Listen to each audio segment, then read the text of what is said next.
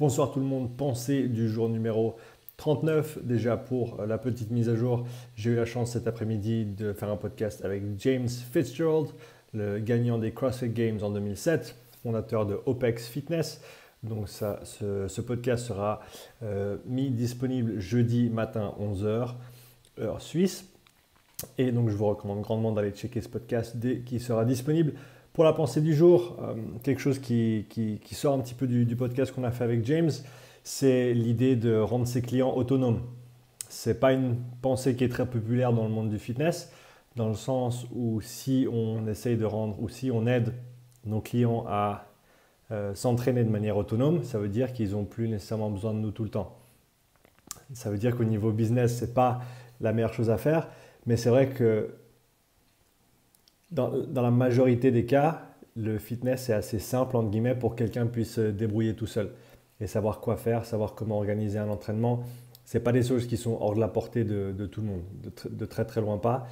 Et comme le disait James, on a tendance à complexifier le fitness, alors qu'on peut très bien en revenir à des choses beaucoup plus simples que ce qu'on fait maintenant. Pour la plupart des gens, bien sûr, on est d'accord, on ne parle pas d'athlètes professionnels, semi-pro, élites, etc qui ont besoin d'une certaine structure, d'une certaine progression, etc.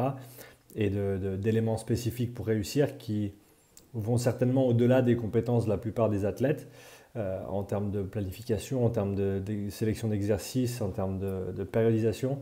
Euh, mais pour le grand public en général, euh, ce, dont ils ont besoin pour rester en bonne santé, pour se sentir bien, une fois qu'ils ont appris les bases, après voilà, ça dépend encore toujours de qui on parle, et, pas tout le monde va apprendre à la même vitesse et pas tout le monde va être autonome aussi vite les uns que les autres.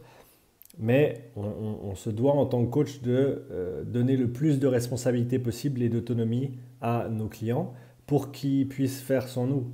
Parce que, alors, euh, voilà, on, va, dire que c'est pas une bonne idée parce qu'après on perd des clients, mais des gens entraînés, il y en a tout le temps plus. Et qu'est-ce qu'il y a de plus enrichissant pour un coach de pouvoir dire voilà, j'ai coaché cette personne, elle est partie de rien et maintenant elle est capable de s'entraîner toute seule, elle est peut-être capable de donner des conseils très très simples à ses amis, à sa famille sur quoi faire, sur quand le faire, sur comment le faire.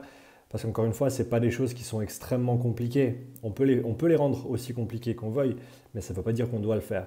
Donc euh, j'ai trouvé que c'était une pensée très très intéressante de la part de James pendant le podcast et je me suis dit que ce serait une bonne occasion de, euh, de faire cette petite vidéo pour la communiquer. Donc voilà, merci encore d'avoir regardé. Si vous avez un avis contraire ou euh, que vous pensez que ce raisonnement va dans le bon sens, l'un ou l'autre, mettez vos petits commentaires sous la vidéo, je me réjouis de vous lire. Et à demain, j'espère, pour une prochaine pensée du jour. Ciao